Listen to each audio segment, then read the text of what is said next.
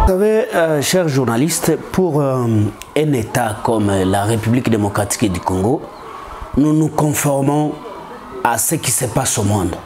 Donc nous ne pouvons pas vivre en vase close. C'est ce qu'on appelle l'immédiateté internationale. Donc il y a les lois internationales, dont euh, notamment notre constitution. Notre constitution c'est conforme aux lois euh, d'autres pays, aux lois des organisations internationales, parce que nous ne vivons pas en République démocratique du Congo, un pays isolé, non. Et ces dispositions, ou parmi tant d'autres dispositions de la protection de l'État congolais, il y a notamment euh, l'état de siège que le chef de l'État a utilisé. C'est bon. Mais moi, je reviens sur le préparatif de cela. Est-ce que le président de la République, est-ce que ses conseillers, est-ce que les gens qui l'entourent ont compris d'abord quels sont les méandres, quels sont les garde-fous, quelles sont les mesures accompagnatoires de cet état de siège. C'est là où ça cloche mal, c'est là où il y a le problème, c'est ça le nœud du, problème. Alors, maintenant au niveau des bénis, oui, ce sont des faits qui sont déjà là. Les faits qui sont là. Maintenant, quels sont les moyens qui ont été préparés? Moyens matériels, euh, moyens sur, le plan personnel, donc le militaire qui devrait être là, les, les, accompagnateurs, l'administration publique, qui sont là pour accompagner? C'est ça le problème, monsieur le journaliste. Alors, à cela, vous comprendrez que le Nord Kivu, comme je l'ai expliqué hier, cette partie du Nord Kivu, il y a la complicité internationale. Il y a la complicité au sein du gouvernement. Il y a la complicité au sein de l'armée. Il y a la complicité dans la communauté locale. Explique-nous un peu où se situe voilà, cette complicité sur le plan international, par exemple. Je vais sur le plan international. Mm -hmm. Il y a Laila Zerugui, la chef de la MONUSCO, qui, rep qui, représente, qui à l'époque, qui représentait euh, les Nations Unies. Oui. Vous comprenez? Oui. Et là, clairement dit qu'il fallait négocier avec les tueurs de Béni. Donc lui, elle, plutôt, a identifié. On va négocier avec un monstre. Est-ce que c'était mal pour faire une négociation pourvu qu'il y ait la paix? D'accord. Vous savez, non, non, dans, dans ce champ-là, c'est correct. Là, vous êtes correct avec moi. Mais ici, je parle de l'identité, de l'identification. Parce que quand on ne comprend pas un problème, on n'arrive pas à identifier un problème. Comment voulez-vous arriver à une solution? Comment négocier avec les gens que vous ne connaissez pas? On sait que ce sont des ADF. Ce sont les ADF, soyons, soyons un peu sérieux. Partout au monde, je l'ai répété encore hier ici, sur votre chaîne, que partout au monde, ces djihadistes, nous les voyons.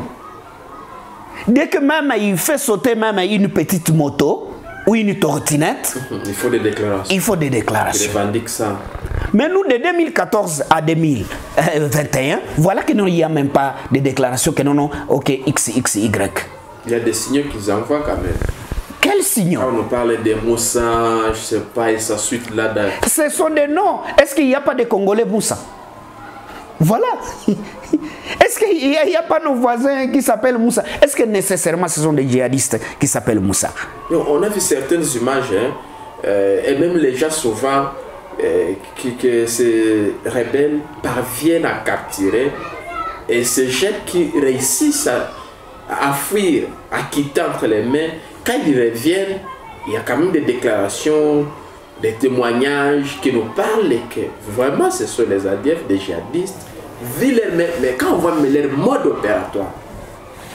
Vous savez, je suis internationaliste, donc j'ai le respect à la multiplicité de cultures. Je respecte l'islam. Mais tout le monde, vous savez, celui est capturé. Mais on va l'amener dans un camp et on lui dit que non, non, et voilà, nous on se présente à toi, et nous nous sommes des islamistes, nous, nous, nous. Est-ce que cela prouve que réellement ce sont des djihadistes Voilà. Les, États-Unis aussi l'ont déclaré, selon les, les recherches des experts. Vous savez, eh, j'ai lu, je presque parcouru tous les rapports de, de ces, de ces instances-là, des experts internationaux. Ce sont ces mêmes experts euh, qui ont accablé les FARDC. Certains officiers de l'FARDC qui sont complices, qui les tuent, qu'il y a de, de brigades, qu'il y a de régiments qui ont intervenu ou qui interviennent dans, dans le massacre. Là, je suis sur le plan international. Vous êtes à Goma et vous êtes journaliste de, la- de la région. Vous avez vu là où euh, euh, un bataillon ou je ne sais pas une section d'une partie de l'armée internationale de la MONUSCO mais c'était euh, la main dans, dans les sacs avec des tenues qui quittaient Goma pour la zone euh, là, de, l'ennemi, dont le même ennemi portait la même tenue. euh, qu'on avait donc semblable à, celle qu'on avait attrapée à l'aéro- à l'aéroport international de Goma. Vous connaissez l'affaire. L'affaire est où? Je pars toujours sur le plan international. Voyez au Jamil Moukoul. Mais les informations circulaient comme quoi c'est Jamil Moukoul, apparemment, il avait même accepté que réellement c'est lui le chef des ADF entre guillemets. Mais il était arrêté à Tanzanie quelque part. Est-ce que vous avez vu la CPI les réclamer? Vous avez vu le droit... Euh, Vo- Voilà, j'y arrive. Est-ce que vous avez vu, je, je vais d'abord au niveau des Nations Unies, est-ce que vous avez vu euh, même euh, la commission là des droits de l'homme, hein, tout ça, UN, euh, quelque chose comme ça, vous les avez vus les réclamer? So- Soit la RDC n'a jamais réclamé, Attends, je, je- je vais... jamais. Vous avez raison, je vais y arriver. Mais sur le terrorisme, quand on le prend, nous avons vu, euh, disons, la communauté internationale. Là, je vois la grande puissance, les États-Unis. Nous avons vu ce qu'ils ont fait euh, dans, dans l'Afrique du Nord. Nous avons vu euh, ce qu'ils ont fait au Moyen-Orient à cause de Bin Laden. Voilà, aujourd'hui, l'Afghanistan, c'est tout un problème. Vous comprenez qu'est-ce que ça donne? Je suis des relations internationales. Il n'y a pas d'amis. Il n'y a pas d'ennemis. Seuls les intérêts comptent. Les États-Unis, les Nations Unies ne représentent que leurs intérêts. C'est ce que maintenant le gouvernement congolais, c'est ce que les Congolais lambda devraient comprendre que notre euh, survie ou notre équilibre, c'est ce que nous nous produisons, c'est ce que nous euh, nous valons. Qu'est-ce que nous, nous avons comme poids sur le plan international? J'arrive au niveau national. Voilà un gouvernement. Je, vais, je rentre chez Kabila un peu avec le porte-parole, le, le Lambert Mende, euh, donc le ministre de la communication, l'ancien. Mais il disait que non, non, il n'y avait que 200 hommes, et d'a- d'ailleurs nous les avons encerclés. Bon voilà, ça, ça, ça va finir. Mais comment ça déborder, euh, déborder 200 hommes euh, pour une armée, là où on, on est arrivé même à déployer à Béni plus de, de, de 10 généraux ou plus de, je ne sais pas, de 22 000 euh, mi- Non, ça militaires congolais. dans, dans l'ancien régime. Ici, on est dans un régime de Tshisekedi qui fait mieux. Qui sera en train de faire mieux. Cher, cher, cher, cher, cher ami journaliste, vous êtes quand même congolais, quel que soit que non, non, ce que vous êtes euh, sur le plan de travail, mais quand même vous êtes congolais, vous vivez cette réalité. Mais l'état de Tshisekedi, nous devons mettre dans la tête l'administration, c'est la continuité. Non, non, là, c'est exagéré quand même. Vous savez que actuellement, les pays bénéficient ou bien traversent, entre guillemets, des bons moments. Euh, plusieurs, dans plusieurs secteurs, ça on ne peut pas l'ignorer quand même, euh, sous l'administration de Tshisekedi quand même. Parce qu'il y a l'état de siège qui est là. Tshisekedi qui montre la volonté de ramener la paix à l'est du pays. Chose qui n'a jamais été euh, faite dans tous les régimes passés. Vous voyez et, et du coup, euh, quand même, si on est. euh, on peut se faire des analyses, on ne peut pas ignorer certaines avancées, monsieur Jules. vous savez, je suis d'accord avec Monsieur le Président. Et vous le soutenez? Sur, attends d'abord.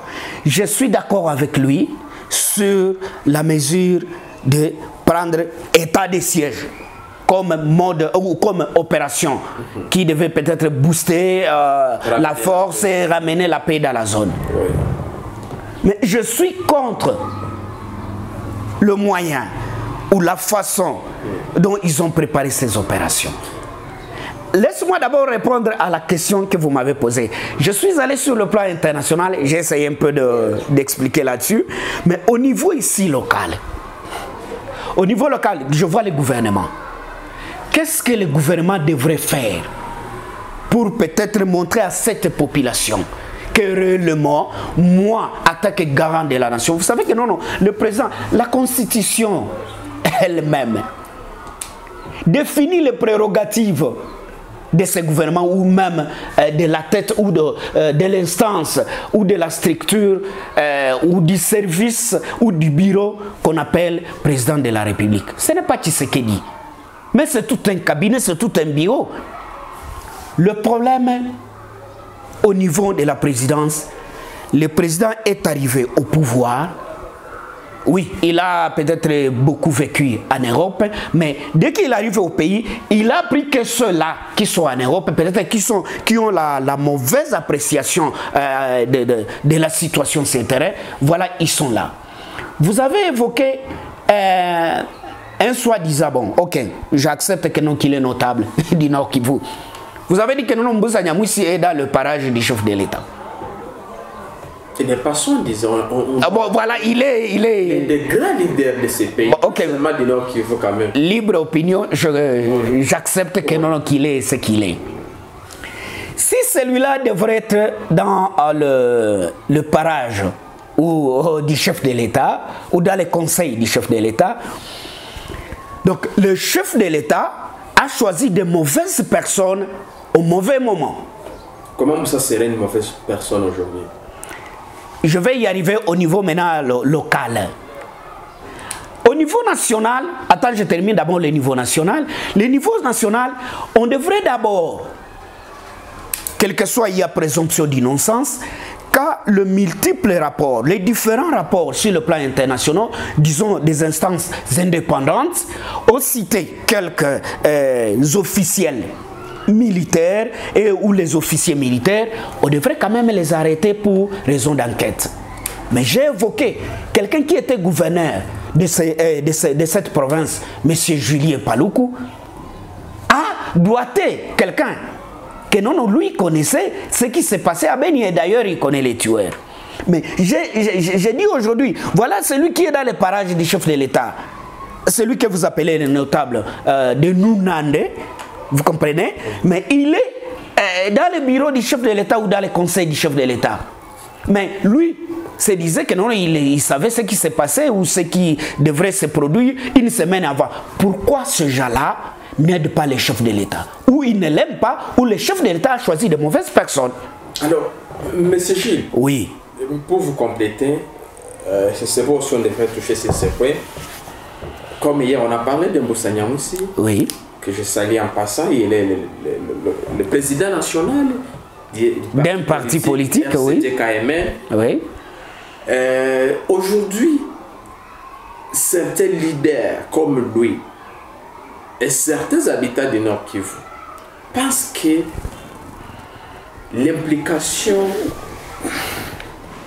de Moussa Nyamwisi dans les opérations, surtout pendant l'état de siège, serait l'une des pistes de solution, serait une d'ailleurs une solution pour mettre fin ou bien pour que ces violences finissent. C'est-à-dire quoi? Ces gens-là estiment que si le président Tshisekedi impliquait Moussa Nyamwisi, on a cité par exemple Moussa Nyamwisi, il y a le président du MLC, Jean-Pierre Bemba. Si surtout les, j'insiste bien, ces deux leaders soient impliqués dans les opérations et dans tous les secteurs pendant l'état de siège, le Nord et l'Ituri vont recouvrir leur paix. Que pensez-vous? Vous savez, je vais vous répondre par un, principe.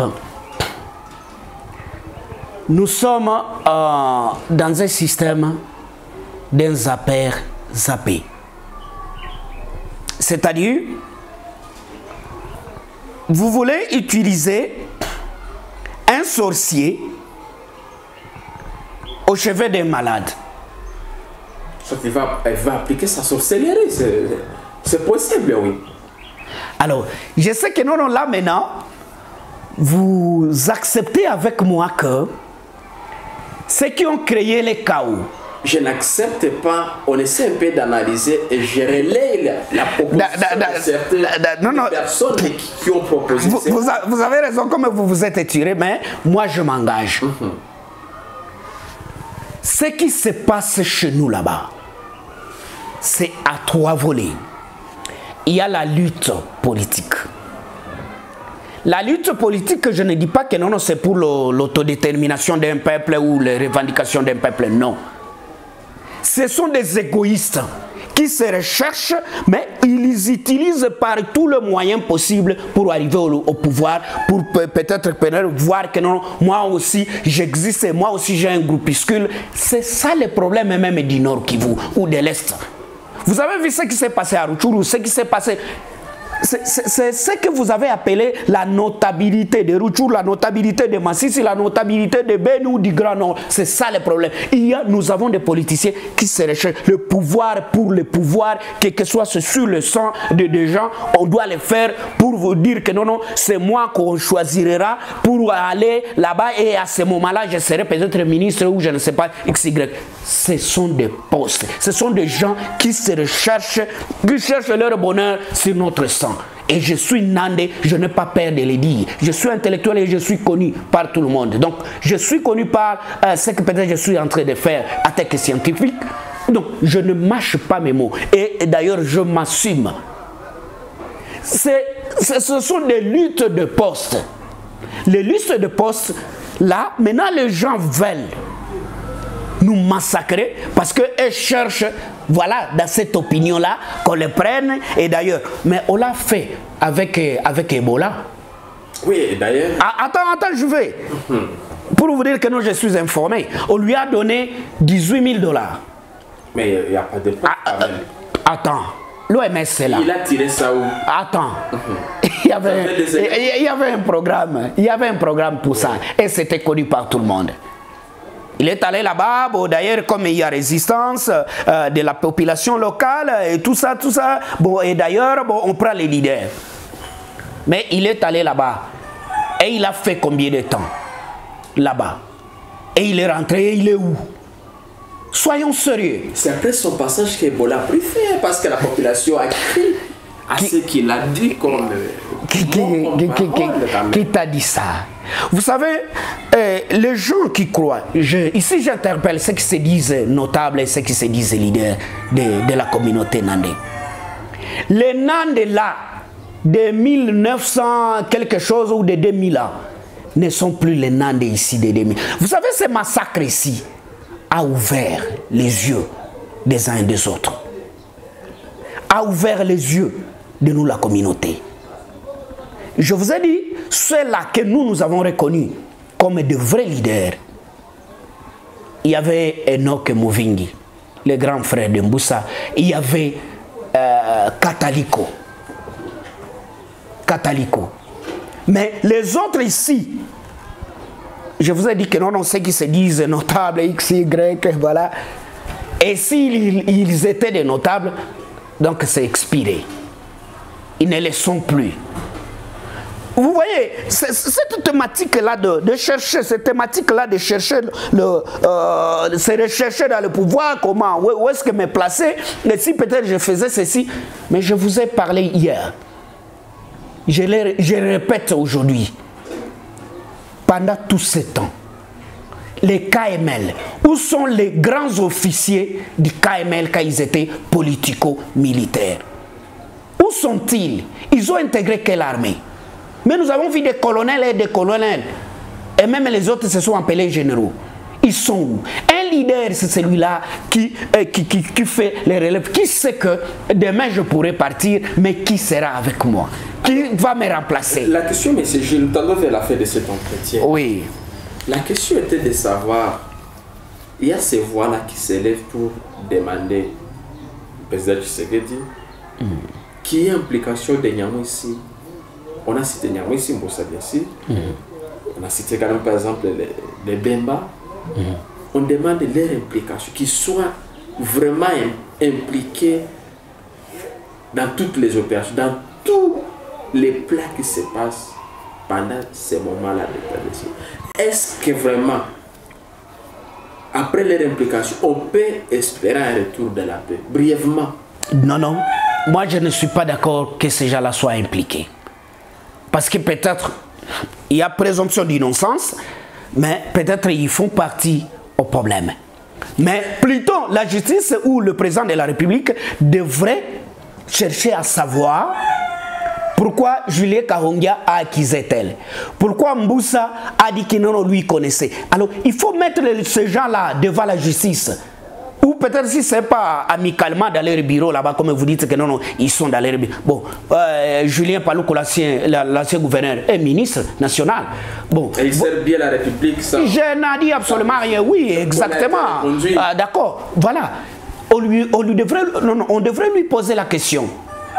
Mais quels sont les éléments Présente-nous les éléments sur lesquels tu avais accusé tel.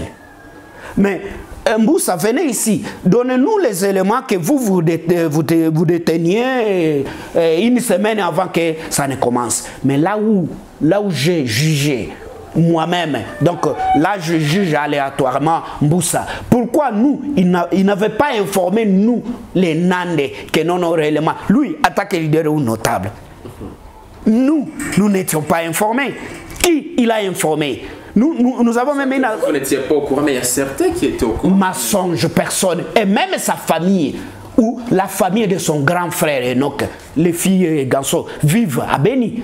Mais il y a peut-être ceux qui ont été massacrés que non, non, lui, papa, n'avait pas informé et que lui savait. C'est une honte. Vous savez, être leader, c'est se sacrifier pour les autres. Et voilà pourquoi il se sacrifie pour la population. Et il se sacrifie où? Qu'est-ce qu'il fait? Présente-moi ce qu'il présente comme sacrifice. Grâce à lui, on a, on a Ebola, ça, on doit. Il a contribué. Vous le savez quand même.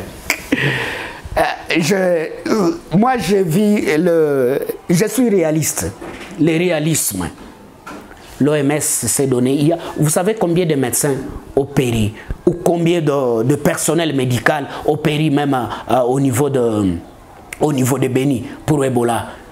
Mais nos médecins, il y a parmi nos médecins Nande, le fils de là, qui sont allés même à Guinée et tout ça, avec l'expérience là d'Ebola, mais ils ont fait quelque chose, même à Sierra Leone. Je connais quelques-uns que je ne vais pas citer ici Alors, pour leur Monsieur publicité. Gilles, nous tendons vers la fin de cet entretien. Je rappelle que c'est la suite de notre interview réalisée hier qu'on a, que vous avez suivi. Euh, ça, c'est la deuxième partie. On aura la troisième partie sur ce même sujet-là, et spécial Béni. Euh, J'ai annoncé également qu'on aura, parce que vous avez écrit beaucoup de livres euh, sur euh, Katumbi, c'est ça? Oui. On va en parler également. Sur le rwandophone dans la région, On va, on va aussi en parler. Mais je crois que, euh, comme je l'ai annoncé, on pourra parler peut-être la troisième partie. Vous reviendrez ici pour nous parler des pistes de solutions pour que ce qui se passe à Béni finisse complètement. Est-ce qu'on aura espoir avec avec l'état de siège Il y a espoir. Qu'est-ce qu'il faut faire? Donc, ce sont d'autres qu'on- qu'on pourra développer prochainement. Mais en un mot et dans une minute, Monsieur Gilles, pour conclure ce sujet, parce qu'on a parlé de l'état de siège, qu'est-ce que vous recommandez au président Félix pourvu que nous, fils du Nord Kivu, nous, fils de l'Est, nous, Congolais, nous puissions vraiment avoir la paix et la sécurité dans cette partie de. Merci beaucoup, monsieur le journaliste. Comme c'est dans une minute, le président de la République devrait commencer. Je soutiens l'état des sièges. Donc, je soutiens les opérations militaires. les chefs de l'État euh, devraient d'abord partir de ce qui est et non de ce qui devrait être. Ce qui est, on a cité les gens.